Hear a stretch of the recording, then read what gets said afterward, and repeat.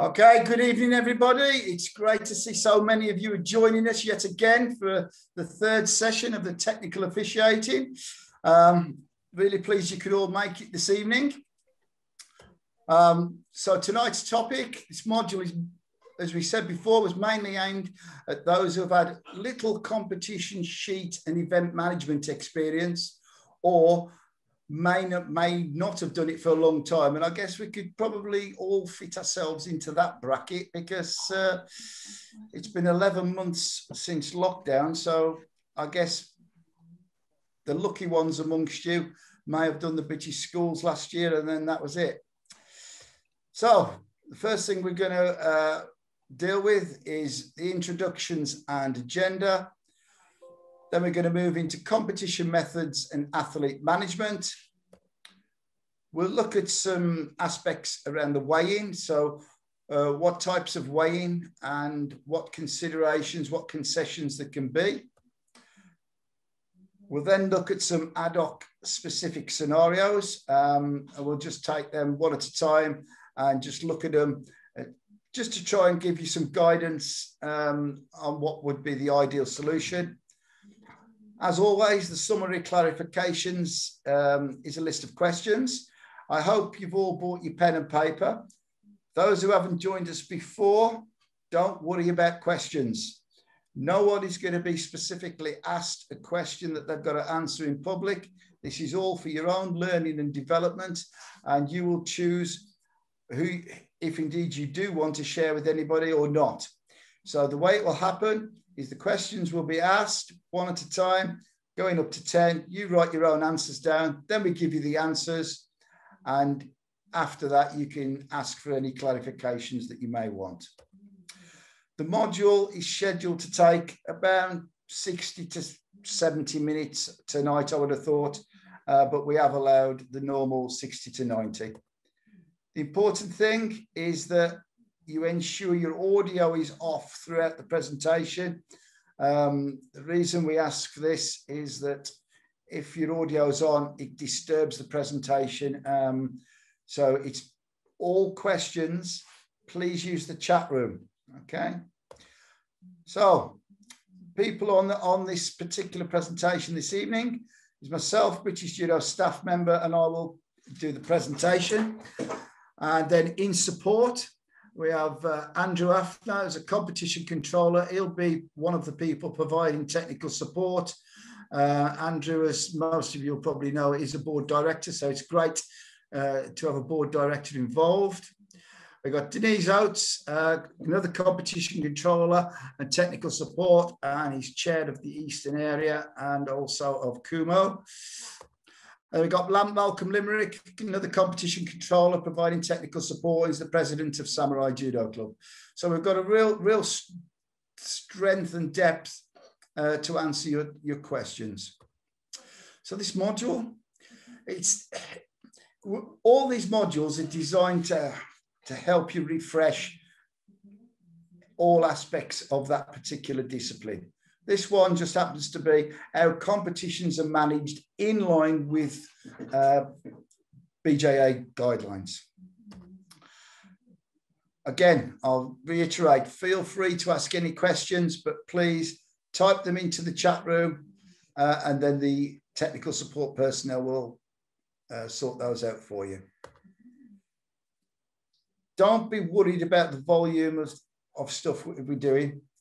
You'll be mentored at events um, by the more experienced uh, technical officials, pretty much as we've always done in the past. We'll work as a team um, and make sure we help each other to get the right solution for the athlete. So don't worry too much that you've got to remember every single item um, because it's always a team effort on the day.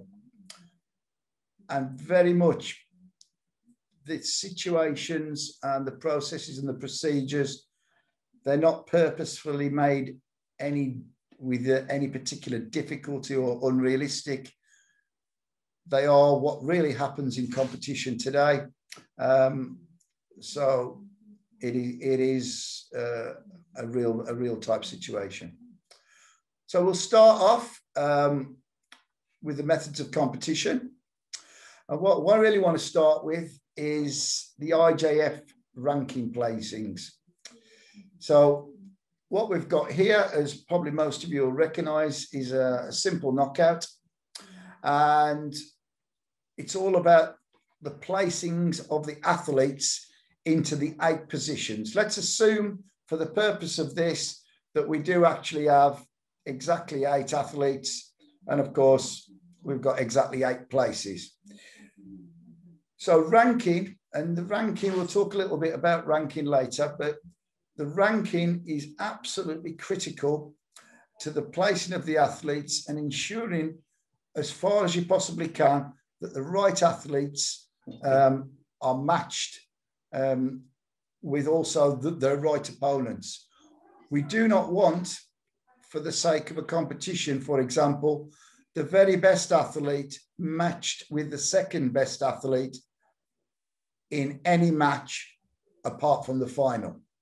Of course, competitions don't go exactly to ranking. It's very, very rare that every match would go exactly to, uh, to the ranking system.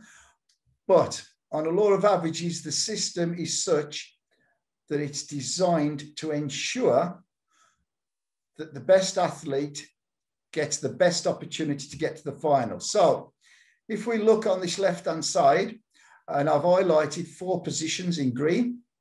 So the number one ranked athlete goes in the first position. And as the number one ranked athlete in the system, they have earned the right to fight in the first match the eighth ranked person. So the top rank versus the bottom rank. Also, the number one has earned the right not to be on the same side of the draw as two and three. So therefore, four is on the same side as one. Two, who is the second best athlete, is on the opposite side, and so is three. And as you can see, so the first best athlete fights the lowest, the second highest athlete fights the second lowest, the third highest athlete fights the third lowest, and the fourth the fourth lowest. And this, this system, it's an IJF design system uh, for the ranking, and it can be extrapolated into any multiple uh, that we wish it to. And we'll, we'll have a look at that now. So if we look what we could have, so this is the situation that we've just looked at, where we've got one and four on the same side, and two and three on the opposite side uh, of the knockout competition. This uh, particular format would be used for any number from five to eight competitors inclusive. Okay, so if we get more than eight competitors, we have the next one, which is 9 to 16. So any athletes from 9 to 16. But the important thing to notice here, we've got the 1, 4, 2, and 3 outlined again. So 1 and 4 are on the same side, and 2 and 3 are on the opposite side. And very importantly, the basic principles the highest ranked athlete fights in the first match the lowest ranked athlete. The second highest fights the second lowest, and so on for three and four. So, this method of competition is uh, it, it really helps the athletes who've earned the ranking to get as far as they possibly can before they have to fight uh, the next best athlete. And I've put the, the 32 situation into it as well. It's been very rare that we use 32 uh, in the British systems now because what we generally do in uh, development events is have pools first and then move into a knockout. And you'd have to have a hell of a lot of people. You'd have to have probably approaching well 60 people in any in a particular category before you'd have pools to 32. So it's not something that you see now, but it's up there for the basic principle again. So the one, four are in the top half, two and three are in the bottom half. Number one fights number 32, number two fights 31, and so on. So you can see that basic principle just carries on right throughout the system. So we move on to pools. So the usual system for a level one event is to have a single pool, and for level two events is to have two pools with the winner and runner-up of each pool proceeding to a semi-final. Very basic stuff, but in a single pool, of course, when all the matches have been fought, um, the medal positions should be clear because uh, the person who's finished top of the pool will get gold, se uh, second will get silver, and third and fourth will be bronze. So that will be just in a single pool. If it's a level one event, um, if you had a pool of five, maybe uh, you would consider giving a third bronze medal as well, um, because this really is their introduction to tournaments. Uh, we're trying to encourage people. So they've presented themselves and fought four matches if it's a pool of five. So a third bronze medal would not be out of order. If we are going to two pools, the winner of pool one fights the runner up of pool two and vice versa. So as the winner, you earn the right not to fight the winner of the other pool, but the winners of the two semi-finals will compete in the final for the gold medal. Of course, the loser gets a silver. The loser in this particular case, where it's just two pools with crossover, the losers of the semi-finals, that is also their final match. So they automatically become the bronze medalists because they're the only two left.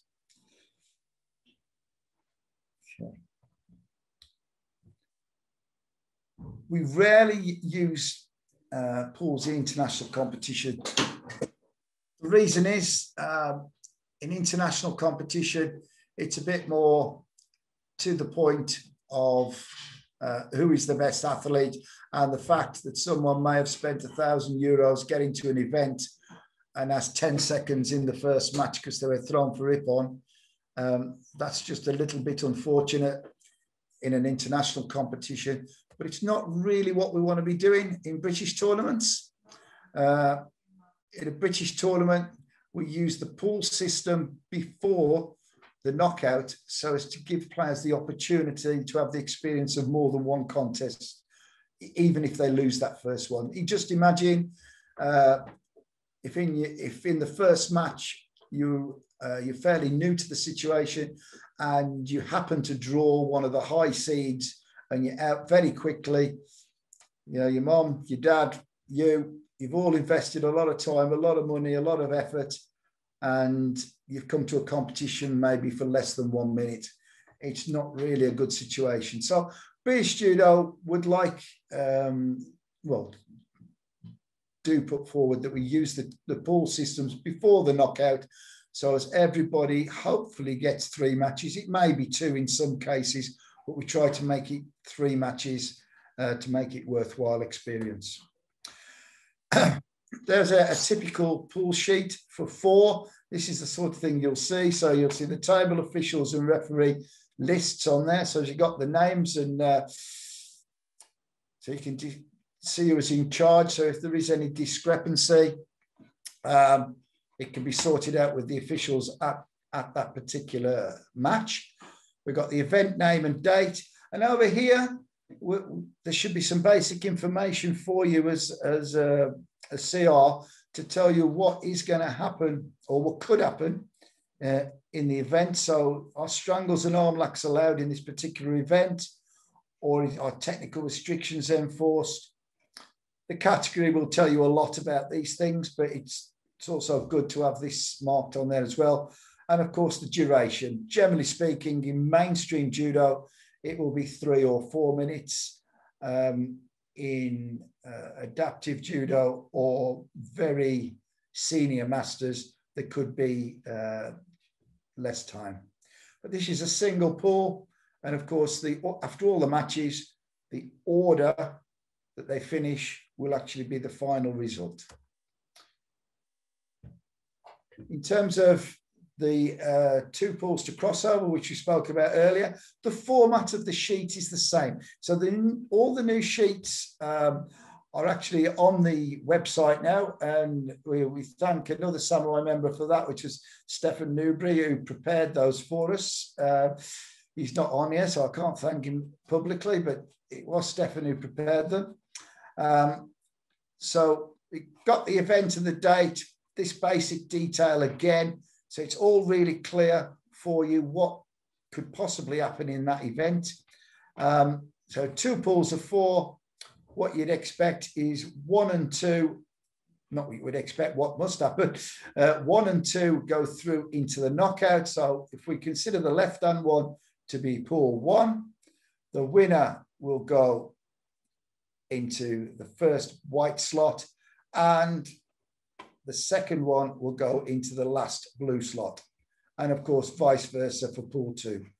So the winner of pool two will go into the second white slot and the second in pool two will go into the first blue slot. And we just run it out through that method.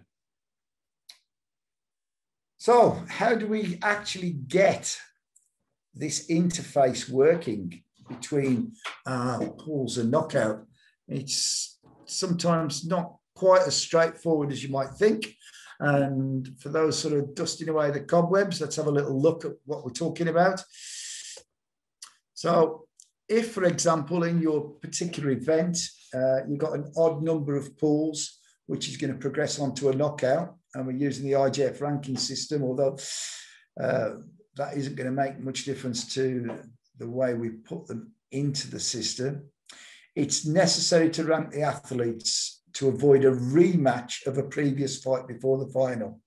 The last thing we want um, is a match that's happened in a pool to reoccur in the knockout before the final. That's not really fair to the two athletes uh, to fight twice before the final. Of course, it can happen in the final because for whatever reason on the day, uh, an anomaly with the ranking, the first and best athlete are in the same pool. So it's possible they could fight earlier, but we don't certainly don't want the second match before the final. The qualifying players from the pools are numbered as such. So the winner of pool one will be the number one athlete the winner of pool two, number two athlete, and so on through all your pools. Then we will number the runners up in the opposite way through the pools. So, for example, this is the pool number. And in this particular example, we have five pools. So pool one to five going down, nice and simple. The winner is the same as the pool number one, two, three, four, five. Then to get the uh, runners up into an order where they don't fight um, the people they've already fought in their pool before the final, we number in the reverse order. So we go one, two, three, four, five going down for the winners, and then six, seven, eight, nine, ten going up for the runners up. Then when you put these numbers into the IJF ranking system, it will put the people who fought in the same pool on opposite sides of the draw. It's slightly different if you've got an even number of pools. So when you've got an even number of pools, it's again, it's necessary to take action to make sure they don't fight again before the final. So what we do is do exactly what we did before, but with the even pools, you swap over the runner-up number.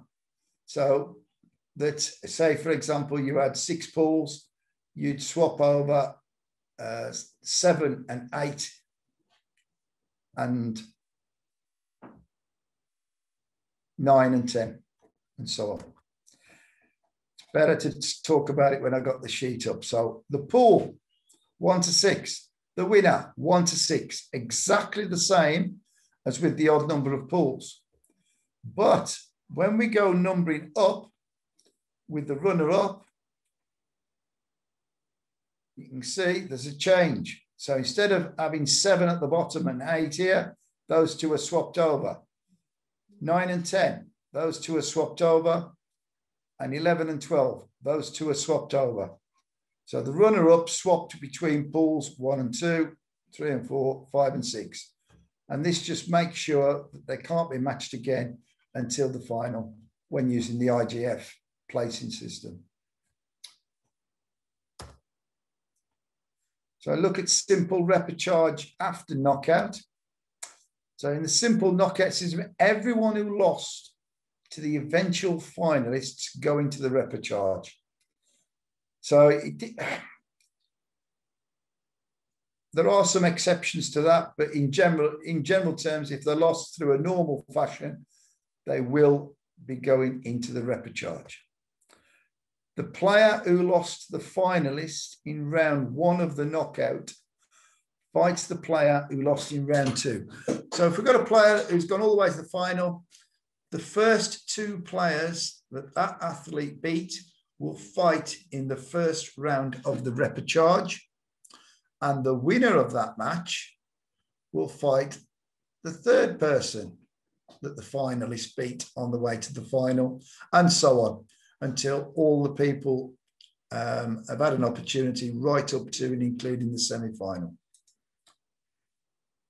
One of the easiest ways to do this is to circle the players who lost to each finalist and then place them in. So on the day, under pressure, it could be that it's a little bit difficult to keep concentration with people asking you questions and, you're trying to guide other people. So it's it's much better just to get to the look at the finalist and work backwards and circle each person that they beat.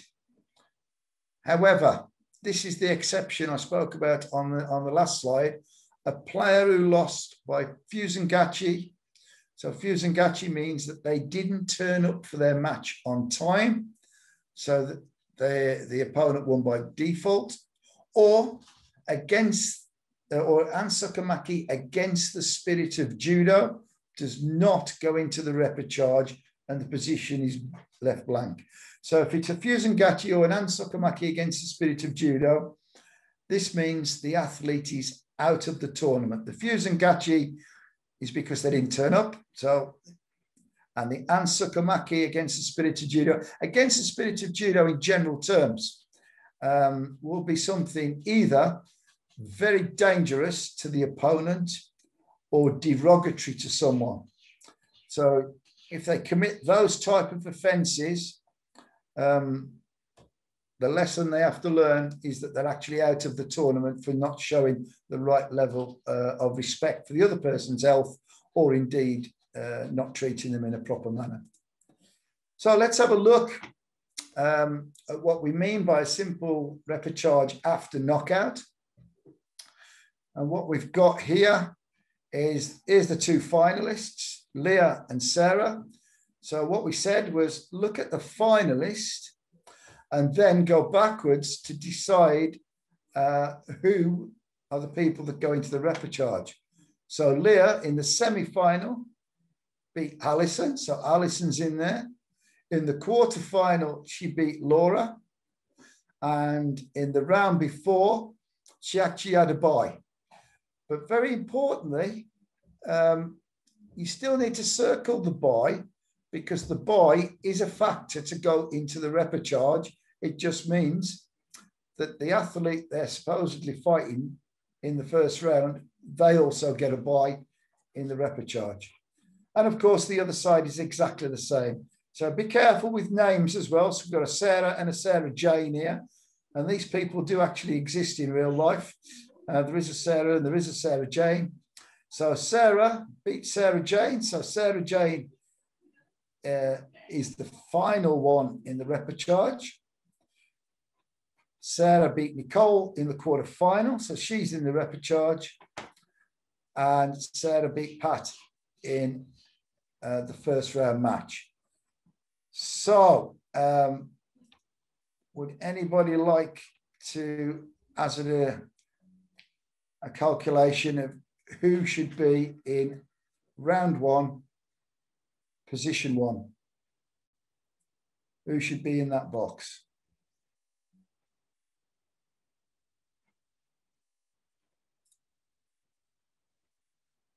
There you go. So, bye. Yes. So, Leah had a bye in the first round. So, we get to this. In the second round, Leah beat Laura. So, bye and Laura. Laura is automatically uh, propelled into the next round where she will fight Alison. And on the other side, so they maintain the side of the draw. So the first one is Pat, who lost to Sarah. Nicole then lost to Sarah. So the winners of these two then fight Sarah Jane. Hopefully you can figure that through.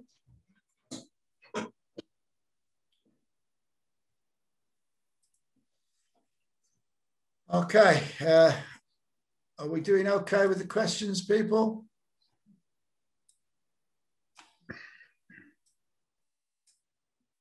Right, let's have a little look at the, at the weigh-in then, some of the challenges we can get in the weigh-in. So, basically, there are two types of weigh-in, defined weight categories. Um, so basically, IJF standard for the categories where IJF exists, um, and group separation by actual weight, so index system. So the actual weight system is normally used with beginners, low grades, and adaptive events.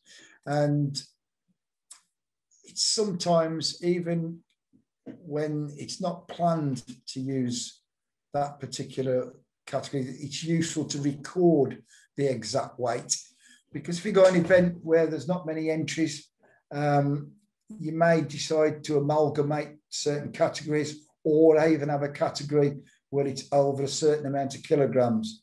Well, the last thing you want to be doing is having, you know, when we're talking about children of 30 or 40 something kilos, you don't want to be going into the realms of five to 10 kilo differences. Um, because you know that that's a quarter of a body weight. You have 40 kilo fighting 50 kilo, and there's probably going to, you know, law of averages, there'll probably be an age difference as well. So uh, it's it's not a good situation. So it's good to have the exact weights, and it enables the tournament director to decide how they're going to split um, the athletes into various pools and categories to make sure that we get a meaningful event and that it's not overly biased or indeed possibly dangerous uh, to someone uh, who's not really prepared to fight somebody significantly heavier than themselves. Um, in the weigh-in, allow parents or coaches to be present with under 18 players. Um, and in brackets, it generally speeds up the process. You know, probably the last thing that some very young children are thinking about is the process they're doing at that moment in time. So, uh, with a bit of direction from mom and dad or the coach, um, it generally gets them through that weighing process. But the things to make sure of is don't allow any adult to be compromised by being alone with an under 18 age player. And of course, there's, there's no photographs in the weighing area. But you know, the really big, big important point is uh, it's better to man uh, a weigh-in uh, with two people above 18 years of age doing doing the process, um, and then everyone is protected really. Allowances, of course, there's some allowances because we don't have a perfect situation, or indeed we wouldn't want um, to have IJF standard on all tournaments. So we'll have what's called an open weigh-in. And in the open weigh-in, we'll have a 0.6 kilogram allowance for boys and girls wearing trousers and t-shirt. Um, these days, minors, uh, boys are, are allowed to wear a t-shirt as well as the girls if they so wish. In cadet, and below events, players must always weigh in wearing trousers. The, they cannot opt to say, I, I want to take my trousers off. That that is not that's not in the script because they're getting the allowance for it. And uh, the 0.5 for trousers at the young age is, is good. It, it's about right. So the point one for a t-shirt is if the boys decide they don't want a t-shirt, it is their option, but um, they are entitled to have the t-shirt and receive the point one. They may as well have the t-shirt because the t-shirt is about point one, so it doesn't really matter. For level four junior events, and I will emphasize that start, level four and junior. So this is not cadet or pre-cadet it's acceptable to have players wearing underwear only and receive just a 0.1 kilogram allowance for their underwear. Of course, this sort of weigh-in should be in a closed environment um, and it should be staffed with a couple of people of the same gender, of course, um, and alternatively, the trousers and t-shirt, you could choose that uh, that way forward. But whatever you do in this environment, either the point one with underwear or 0.6 with trousers and t-shirt, British Judo will be happy with either one, but it's very, very important to state on the entry form which method you're going to be using. Um, so there's no argument on the day and and coaches getting a, little bit upset or or the player themselves getting a little bit upset. So it's all about clarity and openness. What's going to happen on the day? What are the options? And everybody can take the option that they want to take. Low level senior events, you could seniors can have a strip weigh-in if they want. Closed environment, same gender doing the weigh-in, uh, they can strip. But quite often level one, level two events won't have the facility to uh, to maintain the modesty of, of, of people. So for seniors, we up the allowance a little bit because the trousers are a little bit heavier because they're a bit bigger. So it's 0.8 kilogram. And it's the same for men and women because um, in general, the women are a little bit smaller than the men. That's just a, a scientific fact. Um, so it may, it makes up for the t-shirt uh, that the ladies would uh, would need to be wearing in this case. So it's 0.8 for seniors. Uh, again, very important on your um, entry form that it's stated what you can do.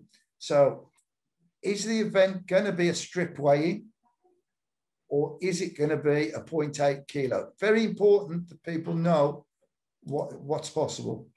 Strip or underwear only weighing must be staffed by same gender. All really should be staffed by same gender officials. If people are dressed in trousers and t-shirt, it's possible. Um, that could be a little bit of movement there, but generally anything less than that, well, not generally, always less than that, you must have same gender. Minimum two, closed environment, only members of the same gender. Really, really important. Um, other variances for juniors and seniors. So the BJA ranking events, the procedure is for players to weigh in wearing underwear and receive a 0.1 allowance. The reason for this, you know, it, it speeds things up. And also, it protects the people who are below 18 years of age. You know, there's an argument to say the ones that are that are actually 18 are in top, but not. It's to treat everybody the same. So we'll have everybody with that 0.1 kilogram allowance um, wearing underwear. The weighing should therefore be closed to persons on. So we don't want any helpers or if, if it's the girls' weigh in, we don't want the, the dad going in, or if it's the boys' weigh in, we don't want mom going in.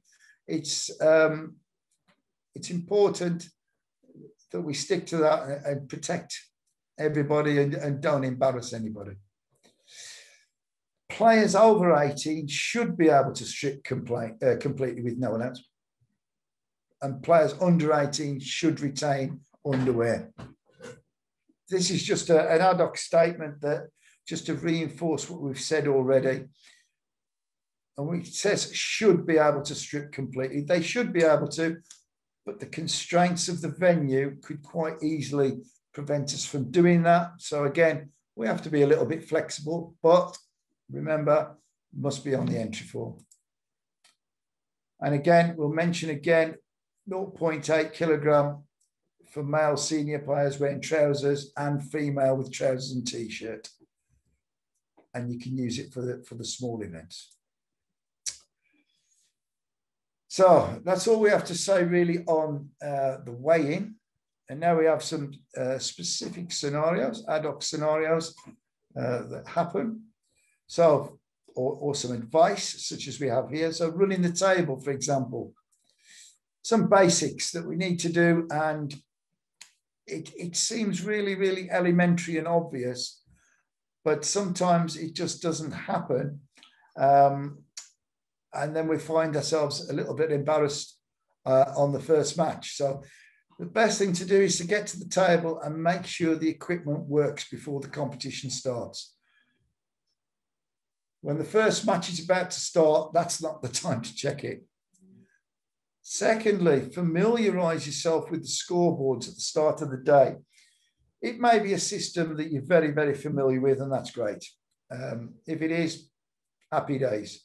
But if it's slightly different, there's no problem with getting there 20, 30 minutes earlier and having a little play around with the scoreboard, making sure you know exactly what you're doing in terms of getting the right scores, the right hold downs on the right side at the right time. Um, just that bit of familiarity without any pressure quite often be a, a real help. Have a manual backup if needed. Um, yeah, it's.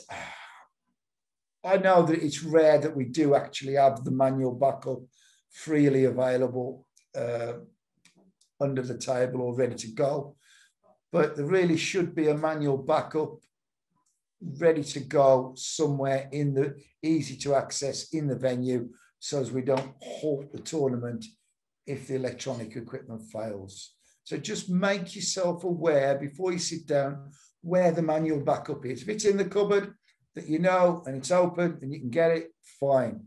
Just make sure you know so you don't hold up the tournament too much microphone, public address, any sort of public address, um, please make sure that you extend your courtesy to the other mats that are operating if it's a multi-mat environment. Um, and because two people speaking at the time is not really going to work too well. So let's make sure that the other people have finished uh, before you take over. But make sure your microphone's off in case you're having a chat that about stuff that really shouldn't be going public. For example, eating your noisy sandwich at the table, it may be that you're not working at that point in time. So you're eating your sandwich. Don't really want that going up over the microphone. So the microphone, as soon as you've stopped speaking, switch it off, and it gives usually gives for a, a better quality for the next person as well. When you're calling the players, it's nice to be friendly with the players and form a relationship. And you can do that by using first names if you want, but just be really, really careful if you're using a first name. Um, that if there's more than one person with that or very, very similar, um, you could get the wrong athlete, and getting the wrong athlete into the match uh, provides us with all sorts of difficulties. So it's good practice to use both names. Um, but I can understand if you've got a set of players and you know them um, and it's a clear differential, first names would be fine.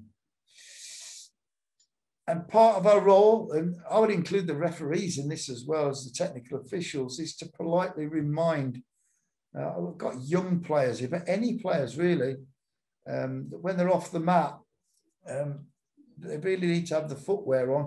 Uh, and especially in the breaks, you know, someone comes off the mat, they've, they're a bit excited, they've just won their first match uh, in a tournament. Uh, it's quite easy in the excitement just to come off the mat and run off to go and see mum or dad, and they've took 30 or 40 paces on a dirty floor. So just remind them in a nice way just to um, get the footwear on.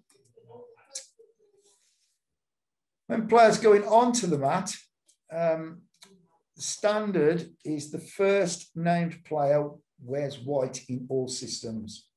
So whoever you call first should be the white.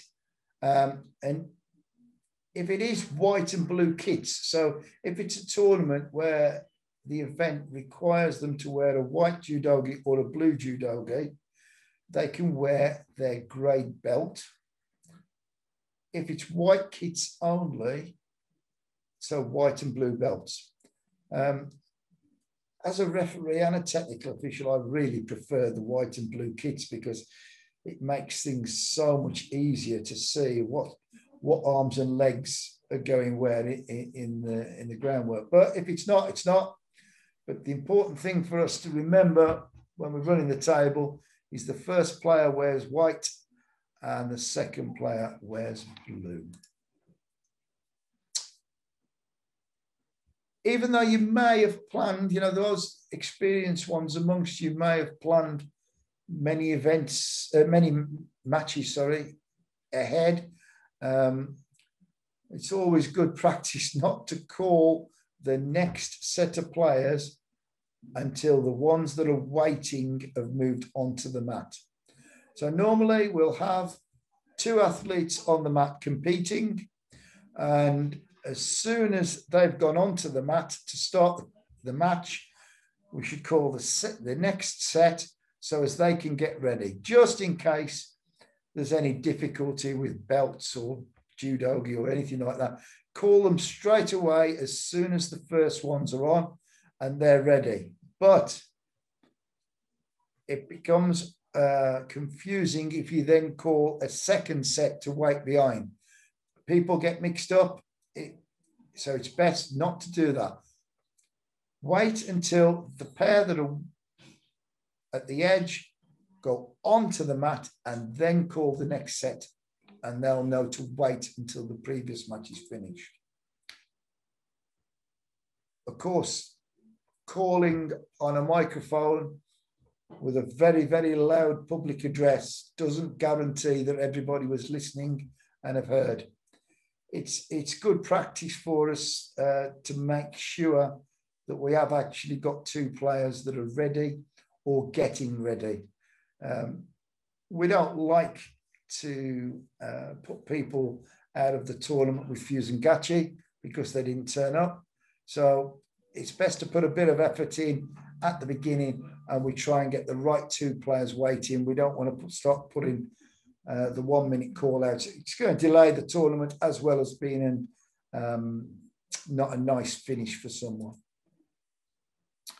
Result of the contest is obviously paramount um, to conclude the match.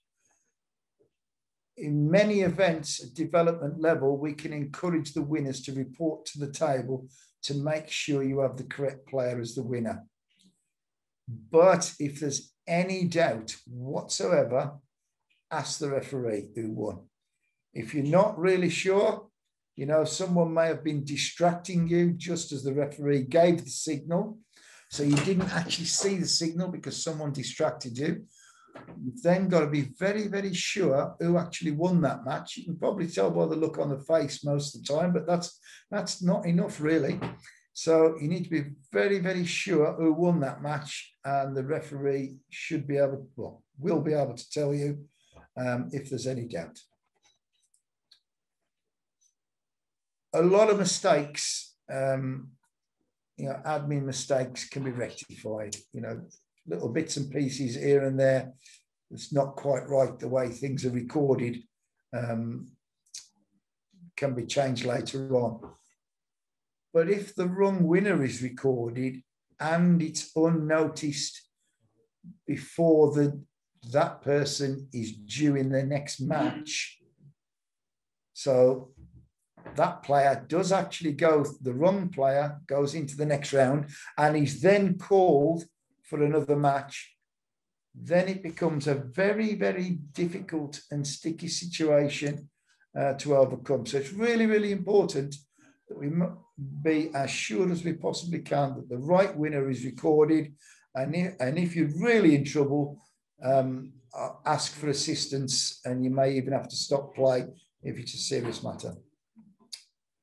For competitions that account for downgrading points, they are recorded on the, on the person's downgrade card by senior staff in control. But no matter how senior or how experienced the people are on the control table, they can only act on the information that you've put on the sheet. So it's really, really important in a point scoring competition that um, everything is legible and the right players. Another reason, not just for the competition, this is for the downgrading as well, that the right players players have got the right amount of points. You know, even as something as simple as uh, maybe blue wins by a, a throw, and you put T and don't circle it, people at control are going to think that's a Waza-ari win. Um, and therefore, the person is not going to get their 10 points for the, towards the downgrading. So it's really important we, we have it correct. And uh, I see very, very, very few errors in this area, but you know, we're all in the same boat here. We've all had at least 11 months out it's going to be easy to make uh, one or two little errors. So we just need to concentrate just that little bit more. If a player fails to appear, we must give them in the British system three minutes. And that doesn't matter how long the contest time is. They have three minutes with calls at one minute intervals and only after the third minute has expired uh, would a Fusengachi uh, be applied. And when that Fusengachi uh, is applied, they are out of the. This is a really serious um, decision to take. So because they're actually out of the competition. Um, it says here the tournament director must be consulted. It's always good to get the, the tournament director involved in this sort of situation because there may have been some extenuating circumstances um, that they're aware of and, and just keep everybody involved so we're on top of this. You know, if it's Fusengachi, it's Fusengachi, but uh, we would like to try to avoid that uh, in all possibilities. And that's why Great Britain stays with the three minutes. In international competitions, it's 30 seconds it's much easier for an international athlete because they got so many helpers. If this happens in the knockout stage, they cannot compete in the repechage. So, it, it, well, if it happens at any stage of the uh, event, they cannot continue. But the reason we've identified this is that some people may say, oh, well, I lost in the knockout, but I want to take my place in the repechage. So I want to try for bronze. Unfortunately, that's not possible. Have a Fusengachi or indeed Hansokumake against the spirit of judo, um, you are out of the event completely, no matter what stage you're at. It's, it's a complete finish. We've talked a little bit about direct Hansokumake already, um, but with a direct Hansokumake, the important thing for you to know and the referee, uh, it's their responsibility to tell you um, is whether it was direct and against the spirit of judo.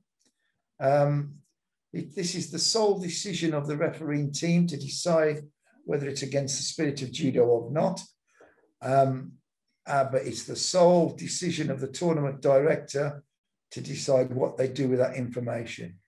in general, if there's no anomalies, a direct against the spirit of judo means the competition is finished um, for that particular person.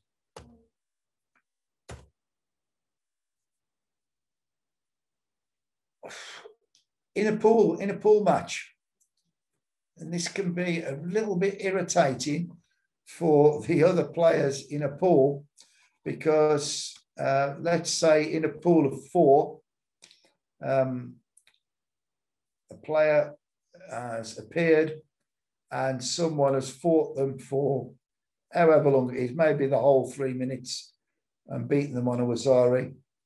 And the next match, they get direct Hansokumake against Spirit of Judo or Gachi. The first match doesn't count either. Or in a pool, Gachi or direct Hansokumake against the Spirit of Judo makes all the matches in that particular pool void for the purpose of the pool calculation. What I mean by the pool calculation is deciding which positions they're in. So if you score 10 points against the person who gave Gachi in the next match, that 10 points is gone. So it's a, it's a little bit hard on some of the other athletes if indeed they beat that person earlier. Uh, but no matter what, any contests that were completed, they still count for downgrade points. So again, still really important that if even if an athlete, say in the second match, got Fusengachi, but in the first match, maybe have won by uh, a hold down for Ippon, that is clear on, on the pool sheet um, or knockout sheet, whatever it is, and the points can be attributed because they were valid at that particular time. We've already said it, but it was just a reiteration that if it happens in the knockout or repechage, their planned opponent in the next round gets a bye. No, no. The point of saying it here is, is there's no replacements. We don't go backwards and fetch someone else forward to put them in. Uh, the person who gets uh, Gachi or direct Hansokumake against Spirit Judo is out of the tournament. Players sometimes go out, out of the tournament because of their own decision. Um, and their own decision, I would say, is high 90% because of an injury. Um, but if, if that player announces their decision to withdraw, the next place player in the pool should be moved up and placed in the knockout. So if at the end of the pool, let's say there's a pool of four, and one, two, three, and one or two decide that they cannot continue and they inform, inform you of that case, you can move number three up into the appropriate position. If the important bit, though, is to make sure we get this right and we attribute the positions uh, and give credit to the result, the other results in that particular pool. So if it's the player who finished top of the pool that pulls out, number two moves to number one, and number three moves to number two. Of course, if it's the second place player who pulled out, it's just number three to number two. It's all about giving people opportunity and facilitating a, a good tournament in reality. If there are only two pools in the category, so you got, you know, you what we spoke about earlier. So with the crossover, it would be quite reasonable if the pool had been completed on both pools completed, and then one of them decides to pull out for whatever reason it is, it would be reasonable to consider that person to be the loser in the semi-final and therefore uh, get the bronze medal. That would be that would be an acceptable thing to do because they have actually earned the right to be in the semi-final. And if they really wanted to, they could just walk on the mat and then immediately retire. So um, it, it's reasonable to give them the bronze medal. Use of competition, uh, computers in competition. So you know, computers uh, taking over the world, but increasingly both recording and timekeeping are done on computer technology. Um, I've been through this myself from the beginning. Uh, when I was a, a competitor, it was uh, a manual timing clock with some buttons on the top and a manual scoreboard. I have to say, the movement to electronic devices is wonderful. It makes it easier uh, for the uh, for the recorder, and it's much more informative um, for the spectators and indeed the athlete who's in the match. So it's really, really important um, that we understand this technology because it is improving the quality of the events. But don't worry, if you don't if you don't normally play around with uh, computers or game machines, so, you, so you're a little bit concerned. The systems are designed to be easy to use, and with an experienced colleague, it's quite simple to understand what you press and when you press it. And quite often the buttons are coloured so you know which is blue and white. So it's made it's made as friendly as, as it can possibly be, I think. Um, if you're recording the results directly to a computer, though, it's very important that if the particular system that you're using doesn't save the result automatically, that you do actually manually save that result after every match. It can become, you know, if you were two or three matches down the line and the computer crashes, um, it could be a bit difficult to recall the matches uh, that haven't been saved. So, and it, it could put some stress in the system. Pen and paper is always useful by the side as backup. Um, pretty much like tonight on this module, pen and paper will be useful to you at the end. It's always good to have uh, a, a method. So that's that concludes the information um, that we want uh, to present this evening. Um, I'm just wondering how we're getting on uh, with the chat room. Is everybody satisfied? Looks like there's a fair bit of activity.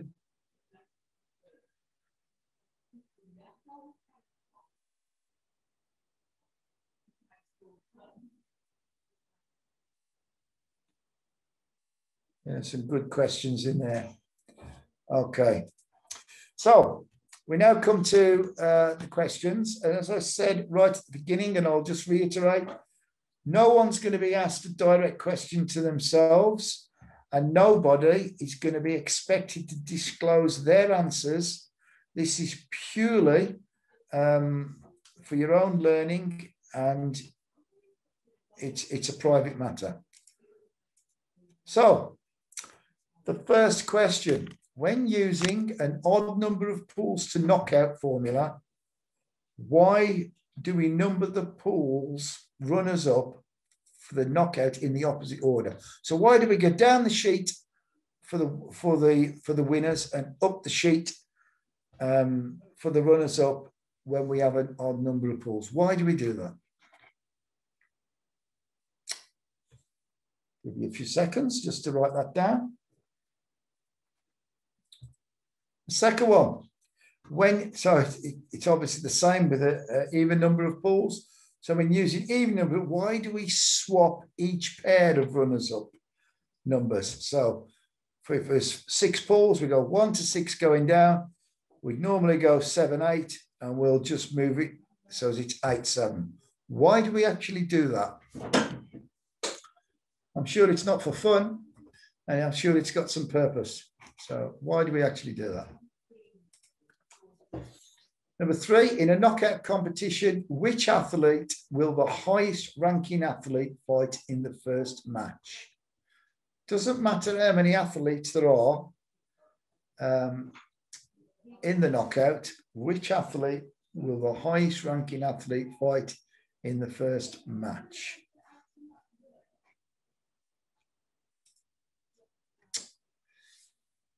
We've done this one to death, but just to confirm, if a player loses a fight by Fusengachi, where should they be placed in the repertoire? lost by Fusengachis. So Fusengachis, they didn't actually turn up for their fight, having had three calls at one minute intervals. Where should they be placed in the repechage? Number five, in a simple knockout, which athletes go into the repechage? So how would you describe which athletes will go into the repechage in a simple knockout? We had a look at this quite early on. I think it's probably the first sheet of uh, technical detail. So which athletes will go into the repechage? If you know the order as well, that's fantastic, but you don't need it for this question. Where would you normally use single pool competition categories? So where in an event with a particular category, just have a single pool.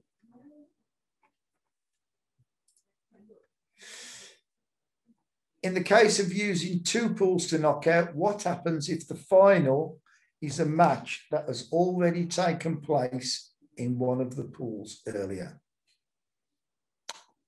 So the final match, the gold medal match, is the same match as the first match of the day, for example, what happens in the final?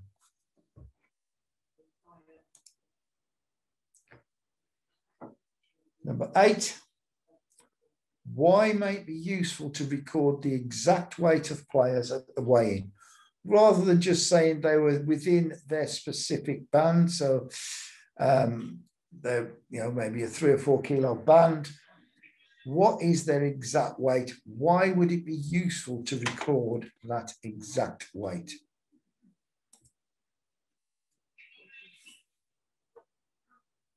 Number nine, if a player fails to appear for the contest, what must the officials do before eliminating that player from the competition? So the player doesn't actually appear for the contest. What must you do before putting the player out of the competition. And the final uh, question if a player who finished top of the pool then decides to withdraw for any reason, what should happen? So, this is the pool is completely finished. The number one player decides they cannot continue for whatever reason it is, usually injury, but it could be a, a, another reason decides to withdraw, what should you do in terms of selecting the athletes for the next round? It's pools to knock out. Which athletes are you going to put forward into the next round? Okay, so now you can check yourself. Um, you got the answers to the questions. And, and don't worry if, about any of this presentation or the questions or the answers if you haven't got them now. It's the whole presentation will be made available electronically. Um, I will gain a link for it um, and we'll distribute it.